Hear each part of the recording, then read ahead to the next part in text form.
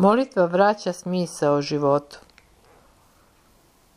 Veliki problem savremenog čoveka koji živi u Moskvi je gubitak smisla. On ne zna kuda ide, zašto živi.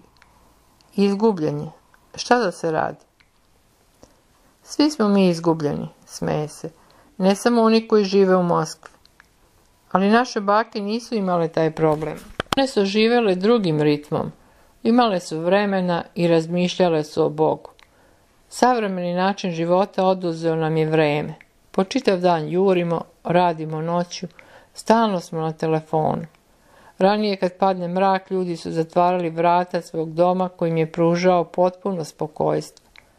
Mi treba da spasavamo dušu polazeći od onih uslova u koje nas postavlja savremeni svet i da upravo tim ritmovima grada organizujemo naš duhovni život prizivajući ime Hristova. To jest opet molitva. Naravno, molitva. To je veza sa gospodom, sećanje na Boga. Veoma je važno uvek i svuda se sećati Boga. To je teško. Potrudite se. Lako je. Nije kriv učitelj, nego učenik. Kakav primjer duhovnog života su vam pokazali starci koje ste poznavali?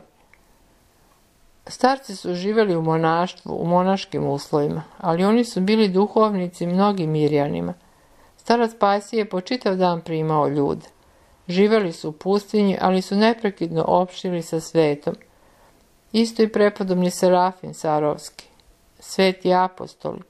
Sveti apostoli čuvali su u sebi tišinu i molitvu, iako su se nalazili u svetu.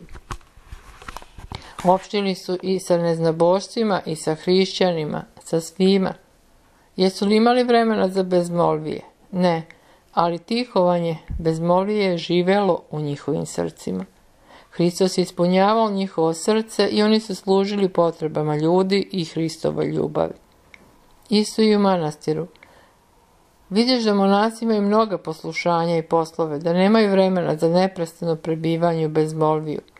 Mi nismo jogini, naše spasenje nije u viđenju božanskih stvari, nego u podvigu.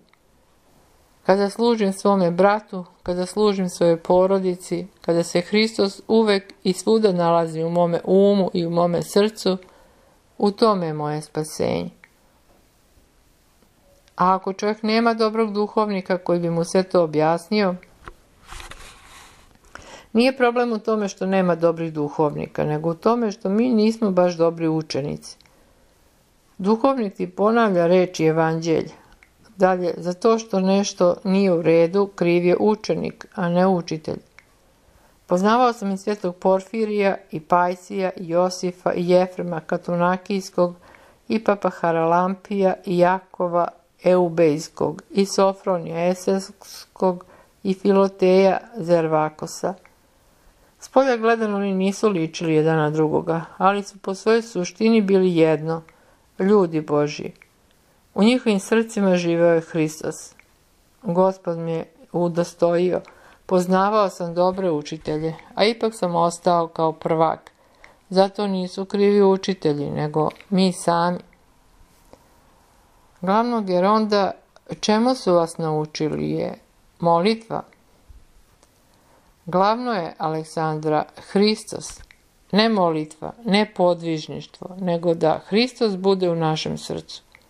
Molitva je sredstvo, to je električni kabel, isto i sa podvižništvom, bdenjem, postom. Sve je to kao kabel. Uključiš utičnicu i eto svetlosti. Bez kabla ništa. Ali ja ne volim kabel, volim svetlost.